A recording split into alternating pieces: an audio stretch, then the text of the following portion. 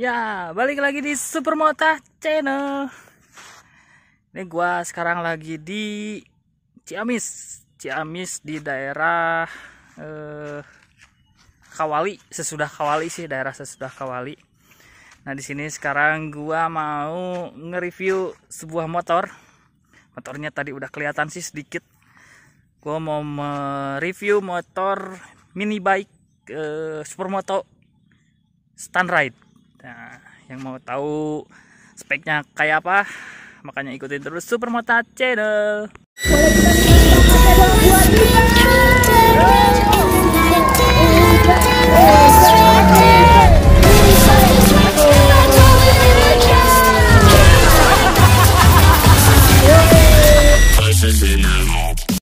Nah, ini dia motornya Kawasaki KSR 110.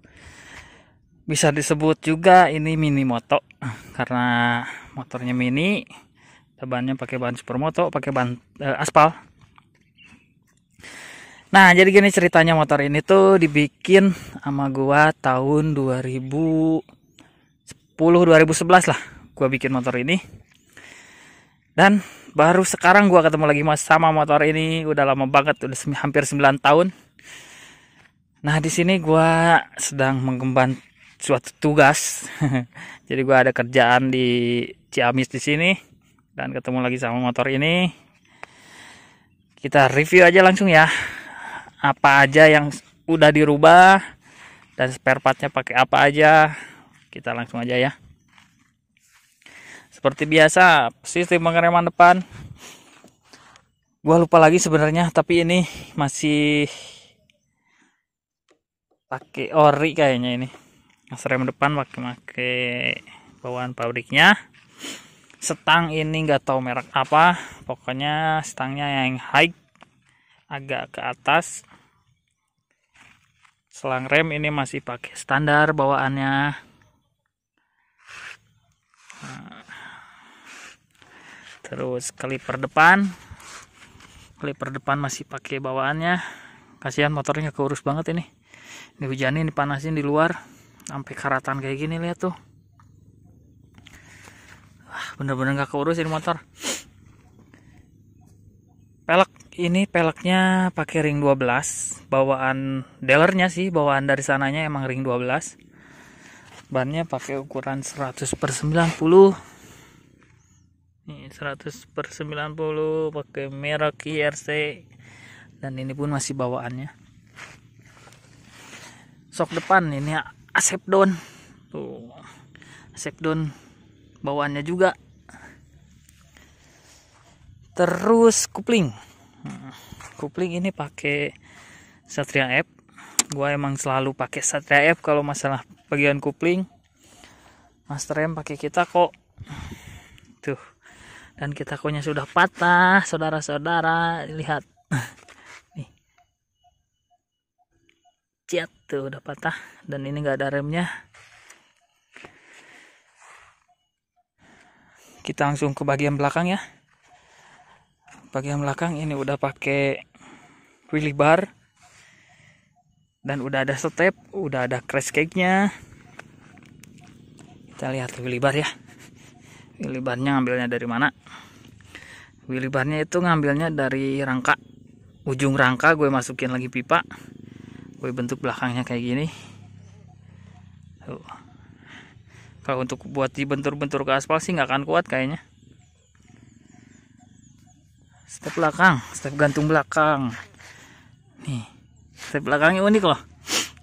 Ini cuman ada satu satu dan satu lagi di sini tahanannya bantu pakai ini. Dan dalamnya pakai plat ini. Nih pakai plat tuh. Yang sebelahnya letter L yang sebelahnya lurus ke sana. Tuh. Terus eh, pelak belakang ring 12 sama dan bannya sudah gundul. Ini ban belakang pakai ukuran sama sih kayak yang depan 100 per 90 12 nah dan knalpot ini gua bikin custom di dul knalpot. Kalau orang Bandung pasti tahu ini. Dul knalpot parah banget keurusnya motor nih lihat sampai karatan karatan gini knalpotnya Knalpot gua bikin di kolong. Tuh gua bikin di kolong. Nanti gua nyalain juga ya. Crash cake-nya, crash cake juga ini pakai plat. Tuh. Ini pakai plat dan ini udah bengkok juga. Crash cake juga buatan Supermota. Belum Supermota sih dulu masih belum ya namanya masih belum Supermota. Belum nemu nama itu. Ini crash cake-nya. Nah, kalau bagian mesin ini tuh cc-nya 110 cc. Dan ini termasuk KSR Pro karena ada kuplingnya. Kuplingnya udah di tangan ya dan ini yang punyanya ketua Harley ke Bandung ACB Pak Haji Cepi yang punyanya. Kita review apa lagi? Udah paling segitu reviewnya nggak ada yang lain. Oh ya kaliper kaliper. Kaliper belakang. Ini yang orinya dan ini kaliper tambahannya ini pakai Supra. Supra ya kalau nggak salah pakai Supra. Piringan masih pakai ori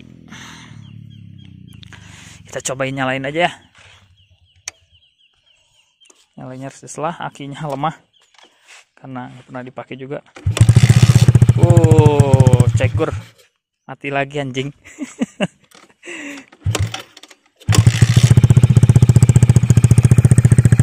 Suaranya nih lumayan suara.